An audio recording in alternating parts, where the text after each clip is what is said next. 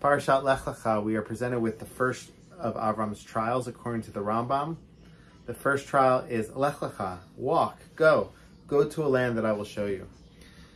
There was, however, chronolo- chronologically a trial that happened beforehand. This was the fiery furnace that Nimrod threw Avram into. Avraham destroyed the idols of Terach, and Nimrod heard about this. He felt threatened, and he threw Avram. He says, "If you're not, either you bow down to an idol, or I'm going to throw you into a fiery furnace.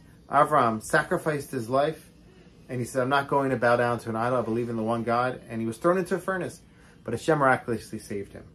Now, this doesn't appear in Rambam's list as the first trial, and this also doesn't appear in the Torah at all. It's from the Midrash.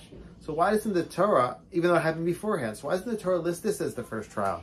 Why isn't this on, on the top of Rambam's list?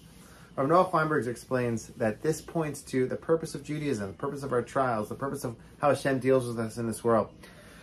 Hashem wants us to, to turn over our lives to Hashem and to live our lives based on the ideals of Torah. To sacrifice our time, our energy, and our and our and, and everything we have to serve Hashem in this world in our lives. Not to give up our lives for Hashem.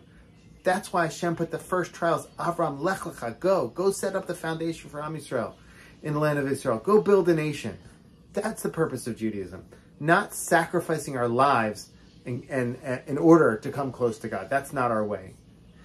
These days we're in, we're, in a, we're in tough times of war. It's important to remember that what we're fighting for, we're fighting for life. We're fighting against individuals who idealize and and promote death, death to other people, and dying to come closer to God based on their opinion. That's not the way of the Torah.